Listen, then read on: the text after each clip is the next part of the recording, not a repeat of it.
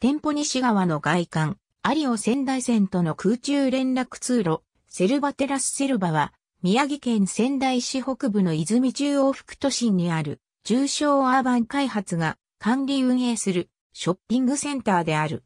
仙台市地下鉄南北線、泉中央駅の東隣に位置する。泉中央駅から当店はペデストリアンデッキで2階に、デッキ下の通路で1階に結ばれている。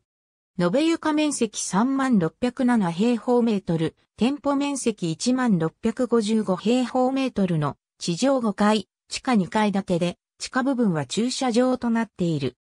泉中央副都心は七北田川の貸し段丘にある。ため、北隣の有尾仙台泉の1階が当店の2階の高さになっており、有尾仙台泉の食品スーパーや飲食店が並ぶ。地下1階と同じ高さでつながる。当店1階はデパ地下のような店内構成となっている。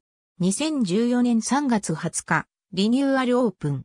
セルバ5階と有尾仙台線4階との間に建設された連絡通路も共用開始となった。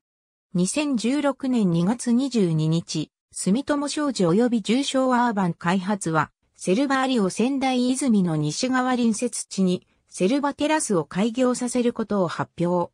1から3階を店舗、4.5階及び屋上を駐車場とする商業施設となり、2016年秋の開業を目指す。